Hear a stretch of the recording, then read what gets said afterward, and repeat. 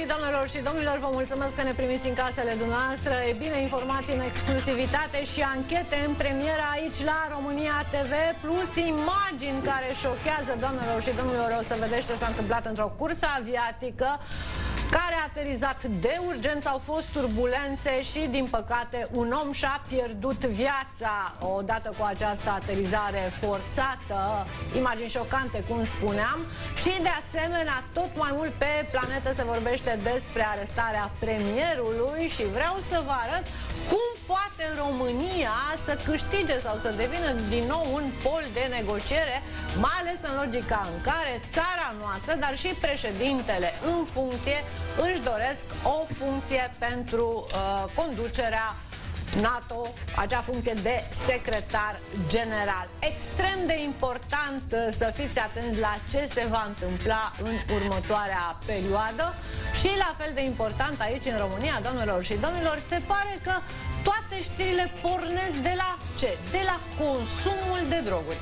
Vedem bătaie în Parlamentul României, teme oricum neimportante pentru noi și se ajunge la consum de droguri. Am văzut ieri un primar care a dat peste Uh, o doamnă uh, a, care participa la o manifestație alături de copiii săi, ei bine, și acolo s-a ajuns la același consum de droguri. Vedem știri care uh, vizează același aspect și în alte medii, dar România încă nu are niciun plan pentru această problemă care uh, creează nu doar probleme, ci chiar nenorociri în foarte multe comunități. Dezvoltăm totul, dar vreau, domnilor și domnilor, să încep cu două știri uh, care pot uh, schimba, uh, să spun așa, lucruri esențiale în România. Ei bine, astăzi s-au semnat actele, al doilea oraș din România în care se va construi linia de metrou după București. Este vorba despre metroul din Cluj, care este mai aproape de realitate după ce președintele Consiliului Județean al Intișe a semnat o autorizație de construire. Aici aveți și o simulare, doamnelor și domnilor, despre modul în care va uh, arăta această, să spunem, linie subterană din al doilea uh, oraș al României cu această facilitate, lungimea metroului din Cluj 21,3 uh, km și 19 stații practic uh, pe acest uh, traseu. La fel de important, doamnelor și domnilor, astăzi, uh, tot de astăzi aflăm că românii pot intra doar cu buletinul în Turcia. Asta după ce președintele turc Recep Erdogan a semnat decretul prin care românii vor putea merge în Turcia, cum spuneam, pe bază de buletin și fără viză Uh, decretul semnat de liderul de la Ankara a fost deja publicat în monitorul oficial turc și apare în contextul în care premierul Marcel Ciolacu efectuează acolo o vizită de lucru și uite, o veste bună, nu mai aveți nevoie de viză și de acea taxă aferentă vizei pentru Turcia. Și la fel de important, doamnelor și domnilor, tot astăzi un pasager uh, a murit și peste alte 30 de persoane au fost rănite în, din cauza turbulențelor severe în timpul unui zbor. Uh, Londra, Singapore, aeronava Boeing a fost uh, deviată către Bangkok, unde a reușit o aterizare de urgență, iar imaginile sunt absolut cutremurătoare.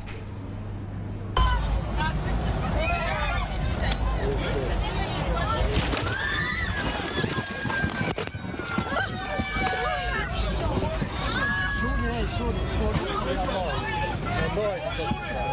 Шури, Шури, Imagini impresionante și la funerariile președintelui Iranului, care a murit odată cu prăbușirea elicopterului. O mulțime uriașă de oameni au participat la aceste ceremonii și, important de precizat, unii au fost extrem de îndurerați, dar alții s-au bucurat. Salam,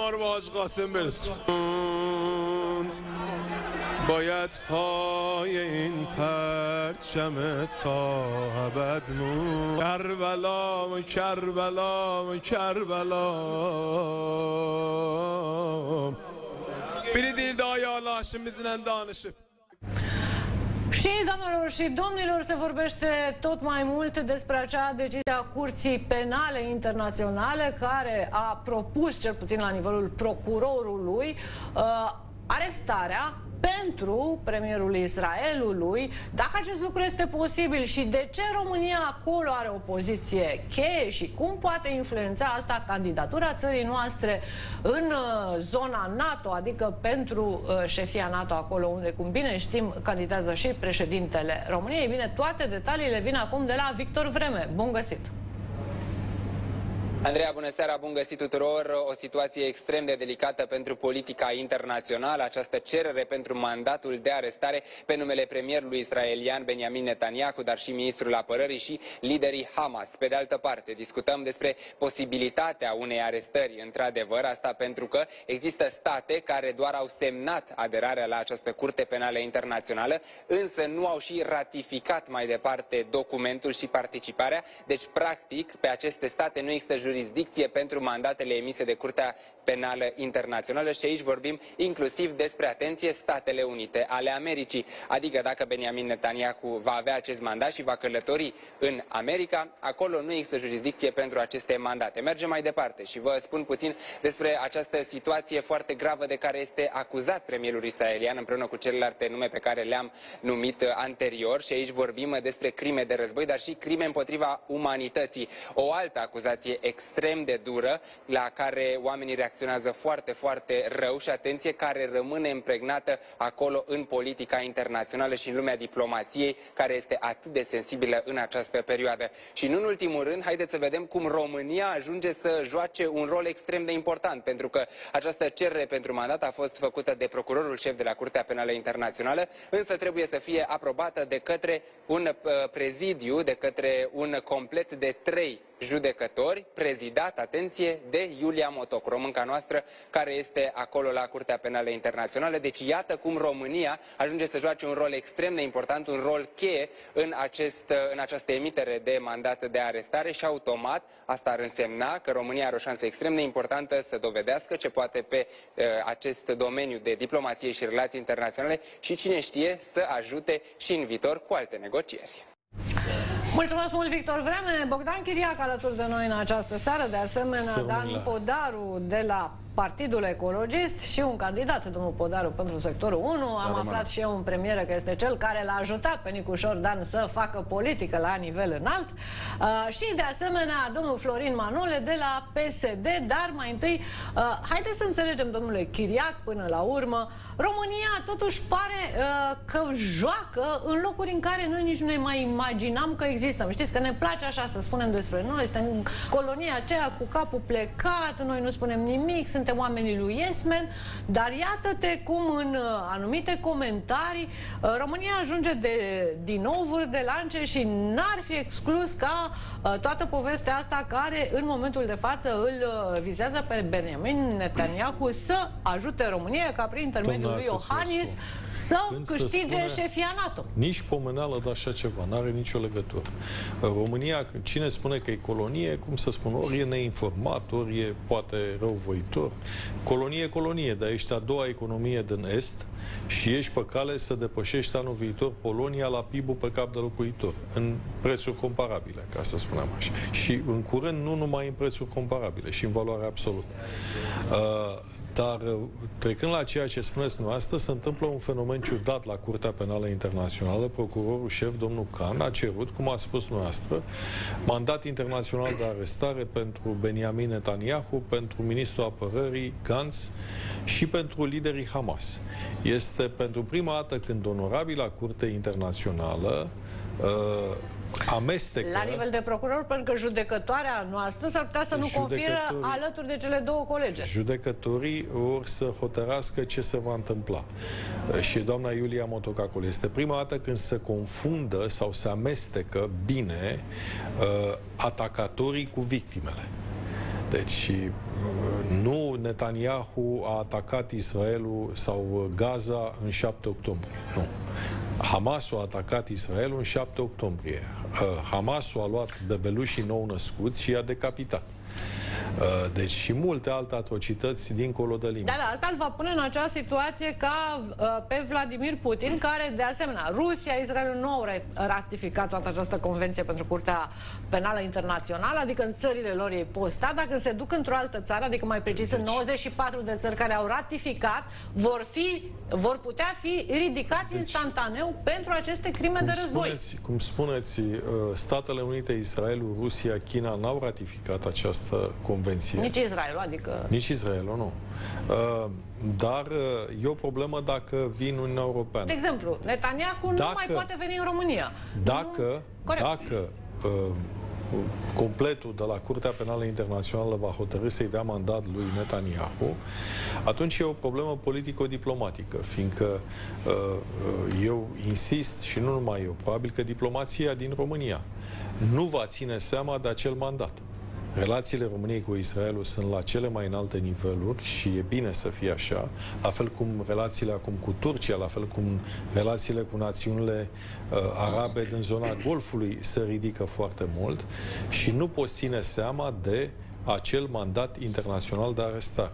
Sigur, există consecințe uh, politice, juridice pentru o țară care nu uh, respectă acel mandat uh, internațional de arestare, dacă îl va primi Netanyahu, că poate judecătorii sunt cu capul la ei și nu vor face greșeala pe care a făcut-o. Să nu uităm că acolo există doamna și Iulia într-adevăr, Motoc. doamna Iulia Motoc este, dar uh, dânsa este judecător acolo, deci este dincolo de naționalitatea domniei sale, de naționalitatea da, da, șefa completului. Adică... Este și șefa completului, fiindcă fiindcă are experiență. A lucrat și la CEDO, a lucrat și aici la Curtea Constituțională, nu, înainte a lucrat în, în zone de internaționale.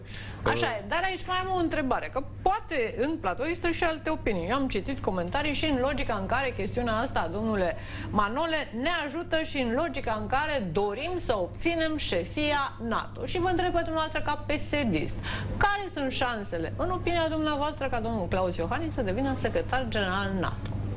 Cu siguranță șansele astea, oricât ar fi ele, nu cred că pot fi influențate de uh, o eventuală prestație într-un fel sau altul ale, a doamnei Motoc. Adică nu există o coordonare între Logic. politica externă a României și doamna Motoc. Doamna Motoc judecă așa cum trebuie să facă un judecător și mai ales unul cu experiență după alte rigori decât uh, interesele politice, diplomatice legitime ale, ale României.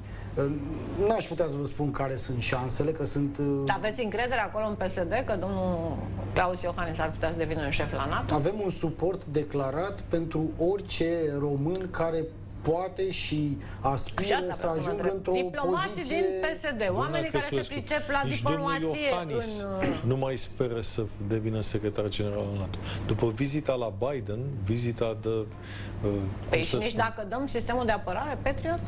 Nu are, doamnă, nicio legătură. Nicio legătură. Absolut nicio legătură. S-a dus la Biden, a fost vizită de consolare, a fost foarte bine că s-au văzut președinții celor două state. Eu, în opinia mea, le putem da două uh, sisteme, fiindcă noi avem trei nefuncționale în momentul ăsta. Unul e operațional și vom primi unul, două, câte le dăm înapoi și upgradate, ca să spunem așa. Nu le dăm de pomană. Și mai bine să-i oprească ucrainienii pe ruși, așa decât să fim noi nevoiți să-i oprim pe teritoriul țării noastre. Nu o să ajungă pe teritoriul țării noastre, dar în granița țării noastre, fiindcă dacă rușii ocupă Odessa, să duc și iau și Buceagu. N-am nicio îndoială. Și atunci venim în graniță cu ei. Dar uh, Iulia Motoc, Bibi Netanyahu, mandatul internațional de arestare, n-au nicio legătură cu președintele Claus Iohannis și cu secretarul general al NATO. Nu, e acolo. I-a spus Biden, domnul, vedeți-vă, avem candidat, avem secretar general, uh, Până și recepta Iperdogan, care l-a primit cu multă căldură pe, pe Marcel Ciolacu și am văzut și relația specială cu Victor Ponta, i-a prins mâna, față de toată delegația când au salutat delegația și a stat multă vreme cu mâna lui Victor Ponta în mâna sa, președintele Erdogan, așa, au vorbit probabil amândoi în limba turcă, uh, da, Victor Ponta, Ponta vorbește limba. limba turcă, între multe alte limbi pe care le vorbește. Uh, e bine să știi limbi străine uh, și uh, e această relație, deci nici Turcia nu l-a anunțat că nu-l sprijină pe, pe Claus Iohannis. Important să aflăm lucrurile astea, domnilor și domnilor, și mai revenim și la ale noastre, că aici în țara asta parcă totul așa e legat de droguri. Uh, și o să vă arăt bătaia de astăzi din Parlament, pe lângă faptul că s-a folosit acolo un limbaj uh, care nu are nicio legătură cu vreo regulă a bunului simț sau a democrației. S-au folosit și uh, metode agresive și s-a ajuns într-un final la droguri. Vedem întâi imagine. Sare la bătaie, dacă un jur te taie. Pe față te taie, te taie. Hai zi vrei bătaie, o da o e. Bătaie, bătaie, încă o vânătaie Fără teamă, nici chiar de pârnaie. Bătaie, bătaie, încă o vânătaie da, protagoniști Florin Roman, Partidul Național Liberal și domnul Dan Vâlceanu, tot din Partidul Național Liberal, dar mai nou excluzi în această formațiune politică. Dacă vă amintiți, a fost chiar și ministrul de finanțe în această țară și iată ce spune un martor la acest scandal, pentru că cel care s-a ales cu nasul spart este Florin Roman, iar despre Vâlceanu, colegii au sesizat care ochii injectați și l-au acuzat de consum de droguri. Practic, uh, eu eram în bancă mm, la ședința de plen. Uh, mm, s-a așezat domnul Vulceanu la mine în bancă, am povestit un pic legat de situația politică de la Călăraș vis-a-vis de primari. După care a trecut pe lângă banca mea domnul Florin Roman, colegul meu Florin Roman, și, mă rog, și-au a avut un schimb de replici dure pe care nu-l pot reproduce uh, pe postul dumneavoastră de televiziune și după aceea au ieșit, practic, domnul Vulceanu a sărit peste băncile din spatele meu, l-a luat pe sus pe Florin Roman și au ieșit pe holurile Parlamentului. Și, practic, eu am ajuns după ce s-a consumat momentul da, uh, până la urmă se pare că i-a dat domnului Roman și un genunchi, uh, i-a spart uh, nasul reprezentantului PNL, care s-a dus să facă și o plângere penală. Domnul Florin Roman este chiar acum în direct cu noi. Domnule Roman, înțeleg că ați trecut astăzi și pe la IML, deși probabil vă propusese doar să intrați prin Parlamentul României și după vizita la IML ați mai depus plângerea? Bună Primul seara! Vreau să fac niște precizări. Vă rog. Uh, chiar dacă pentru unii pare o glumă, eu văd un incident foarte serios. O agresiune violentă repetată în interiorul Parlamentului din partea unui agresor uh, extrem de violent e greu de acceptat că poate fi tratat ca o glumă. Dar știți că atunci când agresorul ăsta violent a fost cazul să-l votați ministrul de finanțe, l-ați votat, inclusiv dumneavoastră. Deci a, a, a doua precizare pe care vroiam să o fac este că, deși spuneați că domnul Vulceanu este liberal, Dânsul și-a pierdut această calitate da, da, încă din octombrie anul trecut. Da, a păi fost. nu, uh, haideți să precizăm foarte clar lucrurile astea, pentru că așa e corect față de adevăr. Corect. Și tot corect față de adevăr este că astăzi a fost o agresiune între un agresor și un alt coleg subsemnatul care a încercat prin autoapărare să se protejeze în fața Și acum vreau să vă întreb direct, domnule Roman, pentru că foarte mulți colegi au spus așa, domnul Vulceanu avea ochii injectați. După, domnul Vulceanu n-a mai vrut să vorbească, am încercat și noi să-i luăm un punct de vedere, dar n-a mai vrut să vorbească cu nimeni. Spun, au spus așa, avea ochii injectați, avea privirea și vorba împleticită. Uh, și au spus, noi știm că domnul Vâlceanu consumă droguri și l-au întrebat direct, ai, te-ai drogat? Adică ce ne puteți spune dumneavoastră despre această chestiune? Aveți deci informații deci pot... că fostul dumneavoastră coleg consumă droguri chiar și în timpul eu ședințelor pot, Parlamentului? Eu ce pot să vă spun, eu ce pot să vă spun este că într-adevăr avea pupilele dilatate, ochi injectați și o privire care e asemănătoare celor care uh, practică acest consum. În rest, uh, știu și eu discuțiile, sincer vă spun, uh, nu, nu cunosc mai mult decât atât, dar vă spun ceea ce s-a întâmplat astăzi. Ar fi necesar uh, un control antidoping în Parlamentul României, că poate mai consumă și alții, înțeleg. Doamne, eu i-am cerut public astăzi domnului Băceanu să-și lămurească această chestiune, pentru că dacă punem uh, motivul atacului de astăzi și pe uh, Uh, baza acestei uh, informații înseamnă că de la consum la violență nu mai e decât un pas. Domnul Eu vă spun la ce v-ați Am rămas șocat pentru că îl cunosc pe domnul Vâlceanu de ceva vreme. Nu l-am cunoscut ca fiind un om violent, din potrivă. Și ceea ce s-a întâmplat astăzi pentru mine a fost uh, șocant, tocmai din Dar v-a acest întrebat punct de vedere. domnul Chiria corect de la ce v-ați luat, că nu e, nici asta nu e clar. Nu, e- vă spun foarte simplu de la ce. I-am reproșat domnului Băceanu că nu are ce căuta în băncile destinate grupului PNL, însul având calitatea de uh, deputat neafiliat și asta este o încălcare a regulamentului. Nu a fost niciun, niciun fel de altă discuție. De-abia după această observație, domnul Gulceanu a început să arunce un cor de invective și de uh, înjurături și să aibă acea reacție violentă. Adică de la nimic, de la un orgoliu, de la... Da. Mă rog, și regulamentul... De la orgoliu sau poate de la alte lucruri pe care, mă repet, nu e treaba mea. Păi, Aceea vă Și întreb, este- ar fi nevoie de un control antidrog în Parlamentul României? Pentru că înțeleg că aceea suspiciune de ochi injectați, privire nesigură și vorbire la fel nesigură, Eu sunt- e, se registrează și la alți colegi, adică nu doar la domnul Vâlceanu.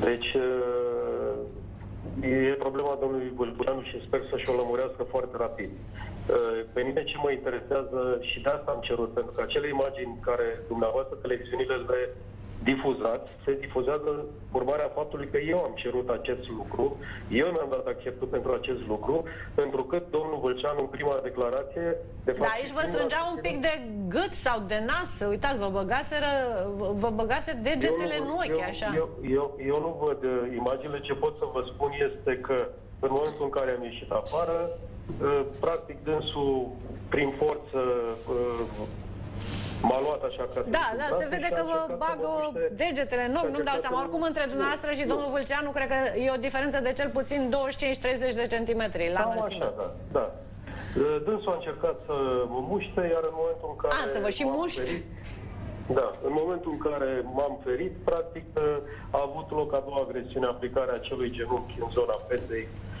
și spargerea nasului, iar uh, a treia agresiune a constat în uh, aruncarea unui pom asupra unui coleg care era în cădere.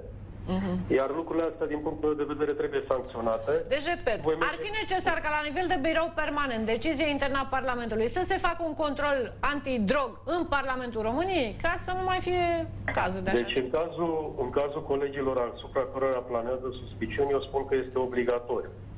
Perfect. Este obligatoriu pentru că dacă lumea admite că sunt colegi care au anumite probleme, acei colegi, dacă ajung la violență așa cum s-a întâmplat astăzi, înseamnă că e o mare problemă. Astăzi deja a fost aplicată prima sancțiune, Comisia Juridică l-a sancționat pe domnul deputat Vâlceanu, a fost o decizie în unanimitate. Ei, Ce? I-au tăiat salariul sau indemnizația sau ce au făcut? I-au tăiat salariul pentru că asta permite deocamdată regulamentul. Uh, Dacă vă uitați în declarația dânsului de avere și a părinților domniei sale, cred că nu e nicio problemă că i-au tăiat Doamna salariul. Căsulescu, pe zi. foarte probabil numai că nu va scăpa ușor, pentru că în momentul în care voi avea uh, certificatul constatator de la medicină legală, voi depune și plângere penală împotriva domnului Bălceanu, pentru că agresorii nu pot scăpa așa cu una cu două și mă voi constitui și parte civilă în dosar, pentru că domnul uh, Bălceanu, apropo de averea pe care, la care dumneavoastră făceați referire, va trebui să și plătească. Da, nu fac eu referire, face declarația de avere. Vă mulțumesc foarte mult pentru această intervenție și vreau să-l întreb și pe reprezentantul Perului, pentru că și în sectorul 1, um, din păcate, s-au înregistrat din ce în ce mai multe uh, să spunem așa, violențe din cauza, cauza drogurilor, uh, atât la, în zona adolescenților și tinerilor, ci și, cât și în zona persoanelor mature, cum i-am văzut pe cei doi domni astăzi în Parlament, domnul Vulceanu, sper să nu greșesc, are undeva 40 sau chiar peste 40 de ani, adică nu mai putem să spunem că este un tânăr. Referitor la imaginile pe care le-am văzut, critic și foarte grav mi se pare faptul că cineva încearcă să muște de față pe altcineva. Nu e o simplă palmă, deja mergem în zona patologiei. Păi, Uh, dacă ai o e acțiune- adevărată aserțiunea și dânsul era drogat, era clar că Bun. nu dădea seama ce faci. Deci, Ești e- drogat, uh, Sim știți cum. probabil să fi fost drogat, doamna Căsulescu. Păi așa se aude, Păi N-a toată lumea atacat la spune asta. întâmplare. A avut o problemă cu domnul Florin Roman. Da, mă rog. Domnul Chiriac, Vă rog, domnul mai mulți președinte. colegi de-ai dânsului, nu eu, adică să nu mă acuze pe mine cineva, ci colegii lui imediat după aceea a spus, noi știm că Vâlceanu se droghează, are ochii, pupilele, în fine. a? Oamenii care ajung uh, la nivelul Parlamentului României uh, trebuie, nu ar trebui, trebuie să fie niște modele pentru societate. Aseme, o asemenea imagine prezentată la nivelul televiziunilor uh, generează un deserviciu politicii în general. Adică dacă oamenii care ajung acolo au acest tip de manifestări, este foarte grav. Bun, în dar eu vă întreb cu... ce faceți la sectorul 1. În că, urmă cu... Cred că și uh, Vâlceanu și uh, Roman își pot rezolva problema. Acum, dacă s-o fi apucat domnul Vâlceanu de consumul de droguri, nu știm. Poate ar fi bine să comunice public, să vină cu niște clarificări aici. Dar e, nu e important, e important că la nivelul societății fenomenul acesta ia amploare și în sectorul 1 și nu prea vedem soluții. În Ce urmă, faceți în urmă cu 3-4 luni de zile, în urma unei sesizări a unui ONG uh, condus de domnul Vișinel Balan, uh, au fost, uh, ne-au fost, ne, mie personal mi-a fost atras atenția că în cadrul unui uh, orfelinat, uh, unui centru care are grijă de copii uh, cu fără părinți, Uh, există posibilitatea consumului de droguri și am uh, realizat Mai o serie, de, păi, o serie de... În majoritatea școlilor și liceelor din sectorul 1 și nu numai. Păi asta e... Intră droguri, asta, pe ce planetă asta e, trăiți? Asta este obligația primarilor în funcție, da? Nici Clotilde Arman... Nu doar și... la un centru copii amărâți, nu, peste tot Nu, nu, intră droguri. vă, vreau să vă dau un exemplu punctual real. A. Au existat... uh, Adică ve- cealaltă sunt ireale? sau Au cum? existat verificări din partea autorităților, DICOT și poliție, Am care înțeles. nu au descoperit nimic, chiar dacă existau uh, prezentate probe din partea copiilor că în acel drog există uh, stupefiante și că ei se droghează. Da, și existau Și unde mar- a căutat martori. DICOT-ul, dacă îmi permit? Nu știu, nu putem noi face acest tip de anchete. Da. Uh, Cu toate acestea, Când o primării... să intre copiii în sevraj, poate o să ne întrebăm de ce n-am putut să facem Cu toate genul acestea, ăsta. primăriile trebuie să abordeze o politică uh, de prevenție față de Cum? toate aceste lucruri, deschizând centre uh, prin care să educe și să, previ, Știți că nu să există niciun prevină... centru pentru minori în tot, toată Ast- capitala? Exact, asta vreau să spun. Și de patru ani de zile, Vreți doamna să faceți Clotilde unul în Armand, sectorul la unu, nivelul, Să vă ajut eu. La nivelul sectorului 1 și nici domnul Nicușor Dan la nivelul Bucureștiului, nu uh, au avut în vedere și nu s-au ocupat de această situație a drogurilor, care, iată, astăzi de, devine un flagel la nivelul României. Așa este. Și dacă am văzut un uh, politician asupra căruia există uh, sau planează suspiciunea că se droghează, asta e declarația colegilor domniei sale, dacă nu e adevărat să-i dea în judecată, o să vă arăt cum un primar testat deja pe acel test antidrog imediat după un accident, s-a dovedit că este și dânsul ar fi consumat uh, substanțe interzise, iar poliția așteaptă în momentul de față rezultatele de laborator pentru a stabili uh, practic în acele dosare penale care a fost gradul uh, de contaminare al primarului și despre ce substanțe este vorba, pentru că știți în legislația noastră, după ce ești testat acolo la fața locului cu antidrogul, ești pozitiv, trebuie să fie confirmat acel rezultat și printr-un test de laborator. Fiindcă testul antidrog are o rată de eșec de 50%. Deci cum în să fii anumite- norocul? pe anumite Mai degrabă dai modele. cu banul. Și ca să afli dacă Pe anumite șoferul modele. e Nu știu drogat sau dacă nu. Gorjul, de unde este domnul primar, este uh, că în România s-au cumpărat, știți, la licitații. La licitații, La da. licitații s-au cumpărat unele teste de-astea antidrog care au marja de eroare pe care o spuneți dumneavoastră, Mm. Da. în altele Bune. au una mai mică. Bune. Uh, nu știu Gorjul în ce situație se află, dar domnul primar, și uh, e important să dăm toate pozițiile, spune că dânsul de fapt nu se droghează, ci a consumat două medicamente care se folosesc la răceală. Da, uite, arogant. Nimic, că nu ascundem nimic. Uite, dar zic așa,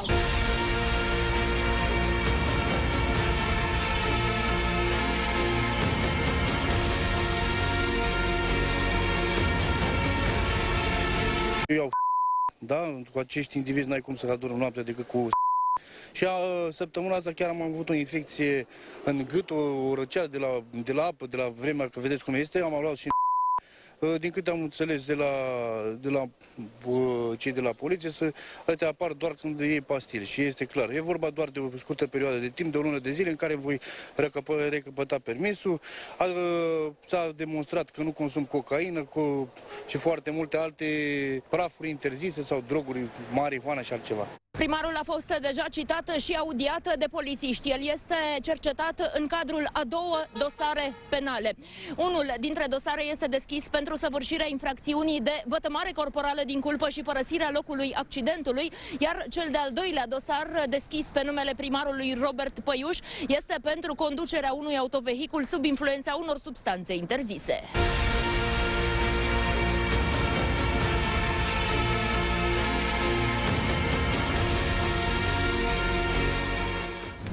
Da, în această chestiune, într-adevăr, trebuie să privim și cealaltă parte a paharului invocată de domnul Chiriac. Și vreau să merg la reprezentantul puterii, la domnul Manole, pentru că sunt două aspecte aici.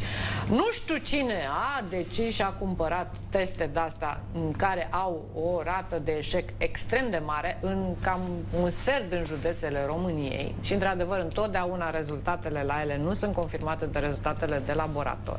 Și după aceea este al doilea aspect remarcat, inclusiv de Agenția Națională a Medicamentului, că, într-adevăr, pe lista aceea lungă uh, din zona drag testului sunt acele substanțe uh, primare din mai multe medicamente extrem de populare. Îmi permit eu să spun câteva, codeină, nurofen, mai ales astea de gripă, hai să-i spunem, de Tot, răceală. le luăm de... toți la răceală. Pe care le luăm toți, da.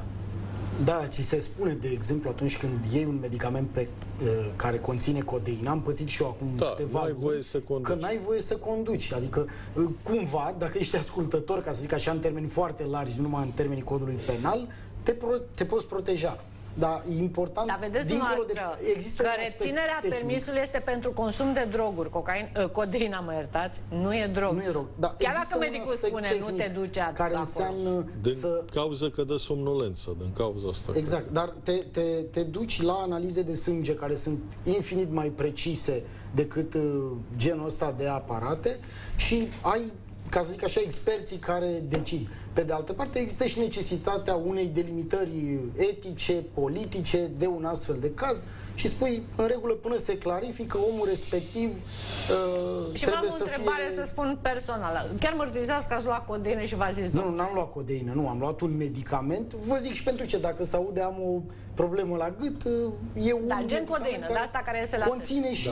Da. Așa. Co- și vi s-a codeina injectat, asta e întrebarea directă, dați-mi voie să... Da, vi vă- s-au uh, dilatat pupile și vi s-au injectat Habar n-am, ochii? nici măcar nu am permis, nu conduc, nu am Nu, nu, treabă ca să cu vedem dacă subiectele sunteți în astea. situația Codeina- domnului Nu, dar nu, Vâlceanu, cod- o fi luat și el Da, codeină. ascultați, sunt zeci de sute, mii de oameni care iau medicamente, inclusiv cu codeină, dar care nu își lovesc Uh, cu Vă legii și care întrerup nu fac pentru scandal. domnul N-am Marcel ce- Ciolacu, îmi pare rău. E Să-l corect. ascultăm.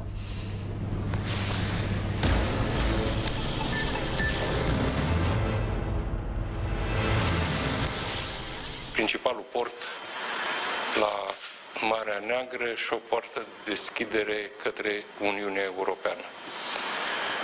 Cu certitudine, în perioada următoare, vom avea mai multe proiecte comune, inclusiv în domeniul energetic, inclusiv în ceea ce privește conectivitatea și tranzitul de gaze pe coridoarele vertical și pe coridorul sudic.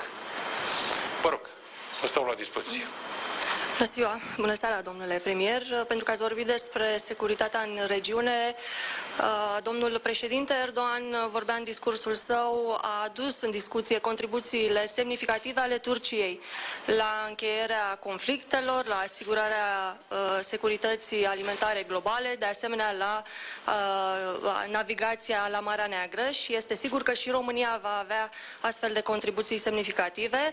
Întrebarea este ce așteptări are Turcia de la aliatul său România în acest subiect și aceeași întrebare și referitoare la uh, lupta împotriva organizațiilor teroriste precum PKK și FETO, asta a spus domnul președinte Erdogan. România și Turcia nu sunt uh, competitori. Sunt două state complementare. Și în ambele domenii, și ajutorul pentru Ucraina și, de exemplu, proiectul de deminare care va începe să funcționeze foarte curând între Turcia, România și Bulgaria, atât de important pentru, pentru Marea Neagră în contextul războiului din Ucraina și între serviciile secrete turce și serviciile secrete românești există o relație de foarte mult timp, o relație de fond. Nu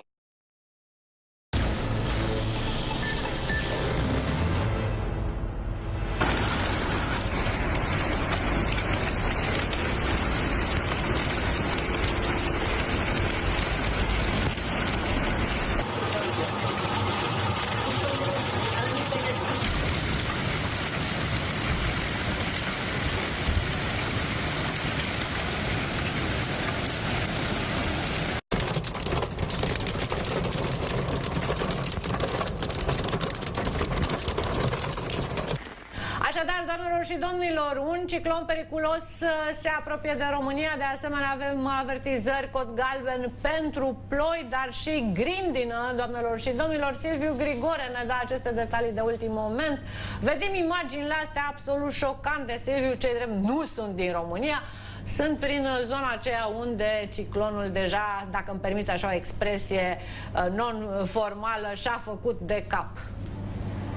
Bună seara, Andreea, bună seara, doamnelor și domnilor. E puțin spus și a făcut de cap a determinat adevărate dezastre, pentru că în multe țări central-vest europene, apoi și în uh, țările sudice, chiar și în sud-estul uh, Europei, această formațiune barică ce are un corespondent puternic în altitudine care influențează foarte mult dezvoltarea fenomenelor asociate instabilității atmosferice și prin urmare am văzut cantități de apă impresionante, chiar recorduri în intervale scurte de timp urmate de inundații, căderi de grindină, au fost chiar și fulgere care au dus la rănirea multor persoane.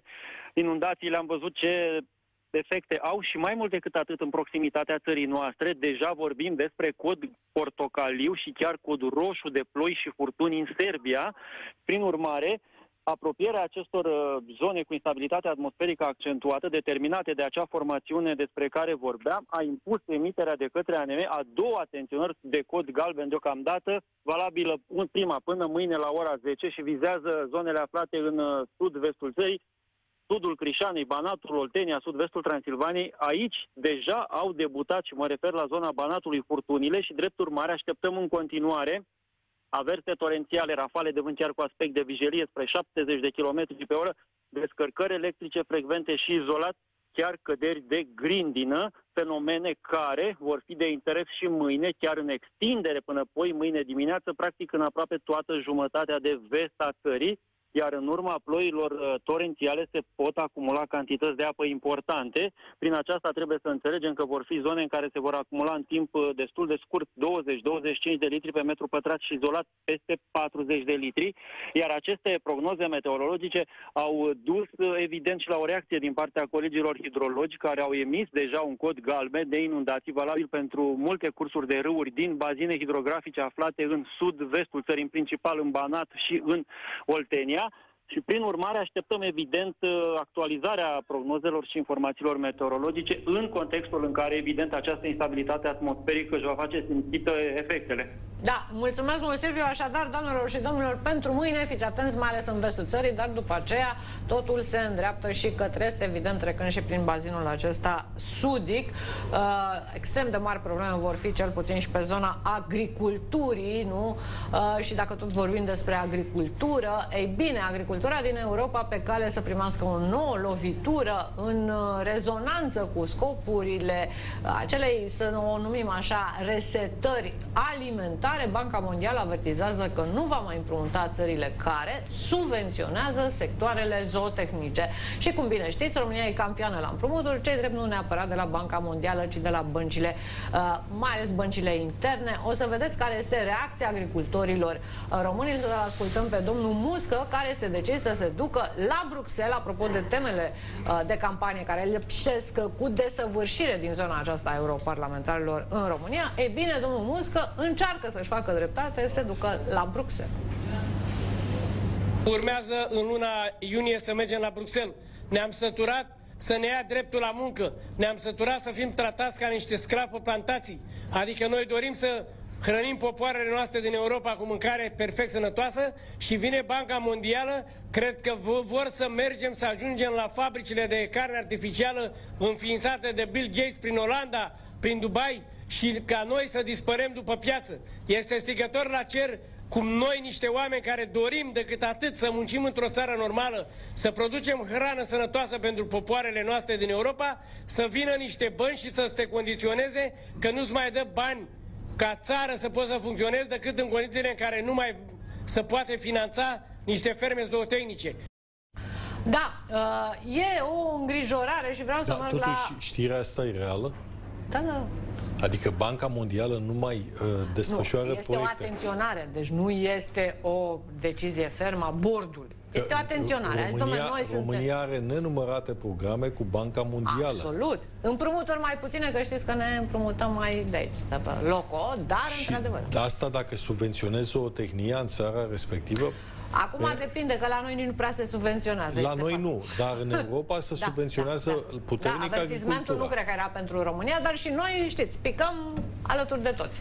Dacă se întâmplă, avertisment, nu de decizie. Și, dar și de aceea vreau să-l întreb pe reprezentantul puterii. Nu veți avea cei mai mulți, teoretic, europarlamentari acolo la Bruxelles. Nu știu, nu l-am văzut pe domnul Tudose, pe domnul uh, Rareș Bogdan.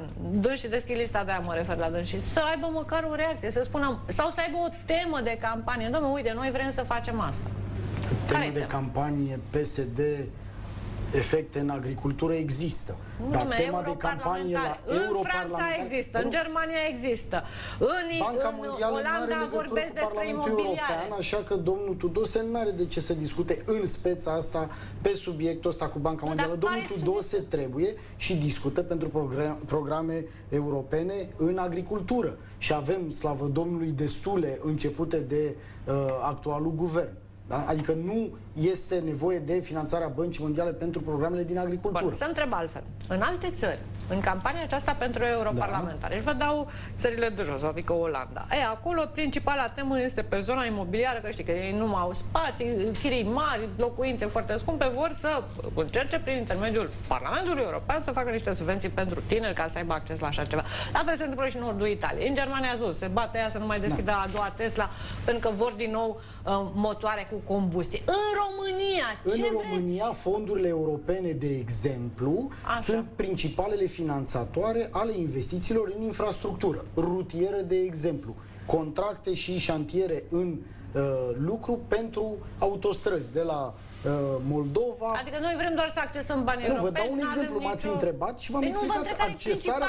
temă. Și v-am dat un exemplu accesarea fondurilor. Bun, m-aș fi așteptat să zică Rareș Bogdan și Tudose m-am uitat pe Rareș paginile Bogdan lor. discută pentru sine, nu sunt nu, avocatul nu, nu discută nimic, Bogdan. se fotografiază prin piețe. Dar vreau să dau și o veste bună, nu avem și român de succes și vă dau uh, exemplul uh, româncei care a strâns o avere uh, uriașă, 800 de milioane de dolari. Este vorba despre doamna Anastasia Soare, supranumită și regina sprâncenelor și acum a rupt toate topurile, doamnelor doamnelor și domnilor, să vedem.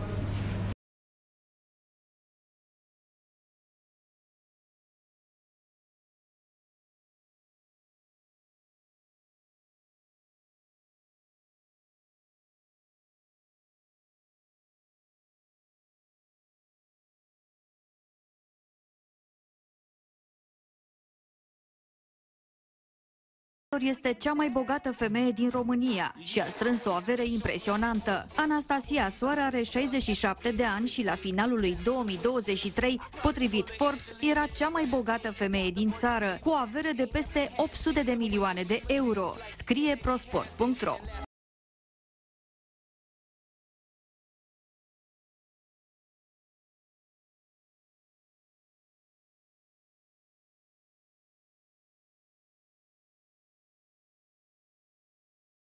Român de succes, ce drept în Statele Unite. Le mulțumesc invitațiilor din această seară și merg uh, la Victor Ciutacu, care nu-i nici pe departe regele sprâncenelor, dar este regele emisiunilor. Nu, Victor, te ascultăm.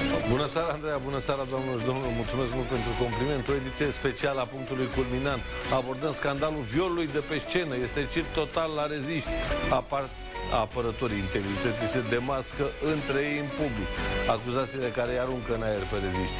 Avem o transmisiune specială de la locul violului și filmul complet cu miniștri bărbați care se bat ca fetițele. Încăierarea bărbaților de stat se trag de păr și se mușcă. Dana Budeanu intervine în răfoiala fătălăilor. Budean care buvnește. Bă, neterminaților! Procurorul obsedat sexual de inculpate se întoarce la slujbă. Paraditorul prădător revine la DNA, doamnelor și domnilor. Victima rupetă cere acum i-a fost distrusă viața. Iar Florin Piersic și un buletin medical de ultimă oră, o răsturnare de situație. Gafă monumentală făcută în cazul marelui actor. Cum ascund medicii greșelile făcute la tratamentul lui Piersic. Și cârdășia furturilor și a jafurilor continuă în spitalul groazei. Regina întunericului de mască. Ce fac cu morții? Omul îngropat de viu. Cum a supraviețuit zile întregi sub pământ. Ce a făcut să poată respira în groapa de 3 metri. Și, domnilor și domnilor, Ciolacu dă lovitura serii. Cea mai bună veste pentru români. Rămâneți, merită.